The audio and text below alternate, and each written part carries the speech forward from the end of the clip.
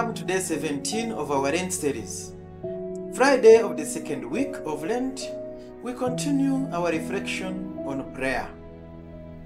Today we would wish to continue reflecting on ways through which we can pray better, especially this season of Lent. The fourth way is pray for others. Remember to pray for relatives, friends, and enemies. Pray for benefactors, especially our spiritual benefactors, the Holy Father, bishops, priests, the religious, and all those through whom God's work is being done. Pray for our countries and those who govern them. Pray for those who have suffered at our hands, especially those who may have suffered spiritually through our bad example. Pray for the souls in purgatory. Pray for everybody, especially those who have nobody to pray for them, and especially those who have asked us of our prayers. What I'm convinced of is that the way we are, the graces we have in our lives, and the answers to prayers which we have gotten is not only because of our prayers, but because of the prayers of others who are on their knees praying for us our parents, our religious, our friends. These are the people who have enabled us to be whom we are through their prayers.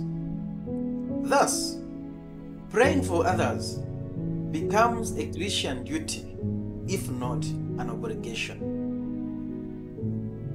The fifth way is assist at Mass as much as possible. Mass is the greatest prayer. In Mass, not only does Christ become present, body and blood, soul and divinity, under the forms of bread and wine, but Christ's saving action, his passion, death, and resurrection are once again enacted and offered to the Father by Christ Himself in the person of the priest, and by all people who are present.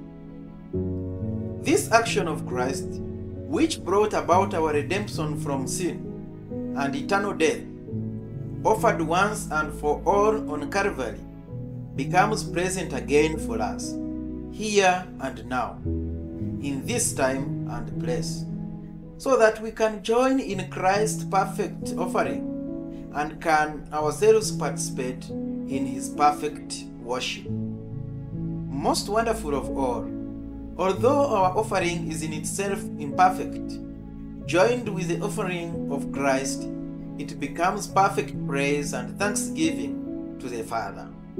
That is the power of Mass. How many times have you gone for Mass this Lent season? I wish you a blessed Lenten season full of prayerful moments. Thank you very much.